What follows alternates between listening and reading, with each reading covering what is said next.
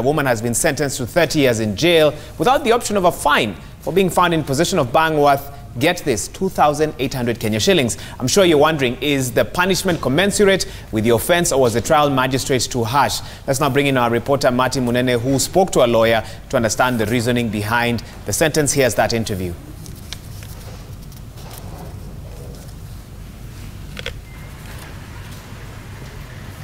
All right, uh, very good morning from Nyeri County. We are outside uh, the Nyeri Law Courts where yesterday there was a ruling uh, about a case involving uh, a single mother who was uh, sentenced to 30 years in prison uh, for trafficking bhang.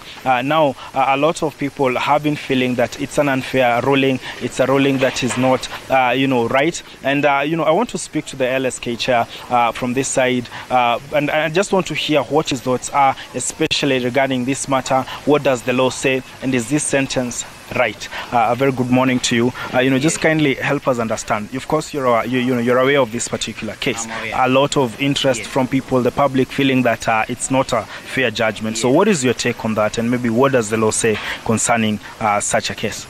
Uh, the lady was charged with trafficking narcotic drugs under Section 4A of the Psychotropic uh, and uh, Narcotic Drugs Act 1984.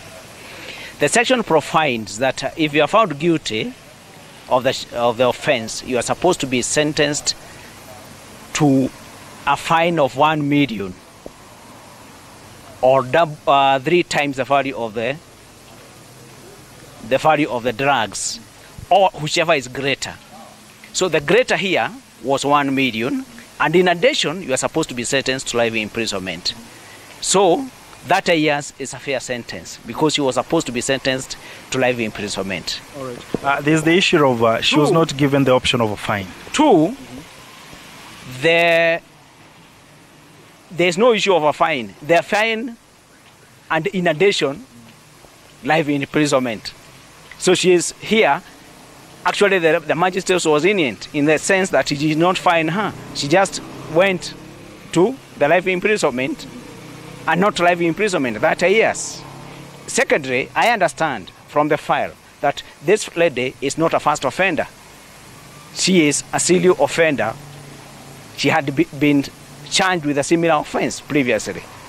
All right. Uh, maybe one of the things that, that a lot of people are raising yes. is the value of these particular drugs that yes. she was found in possession of 2,820. Now, uh, a lot of people questioning. We've seen cases that involve a lot of money and sentences are, you know, more lenient. So, uh, what is what is your opinion on that, and what does the law say concerning that? The public should understand there's a difference between trafficking and being in possession. This lady is not, was not charged with being in possession of drugs. She was charged with the offense of trafficking. That makes all the difference. When you are found in possession, the sentence is lesser. But when you are trafficking, meaning you are taking drugs to the people to take, to ruin the lives of our citizens, to ruin the lives of our children, the trafficking is a more serious offense than being in possession or even taking the drug itself under the law because you, you want to ruin the lives of many people. That is the difference.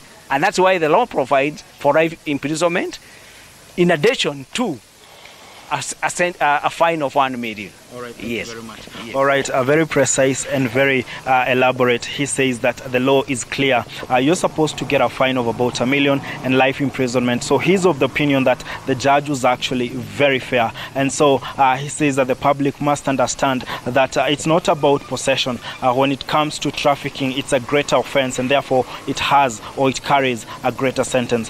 from Nyeri County, I take it back to you in studio. I'm Martin Munene.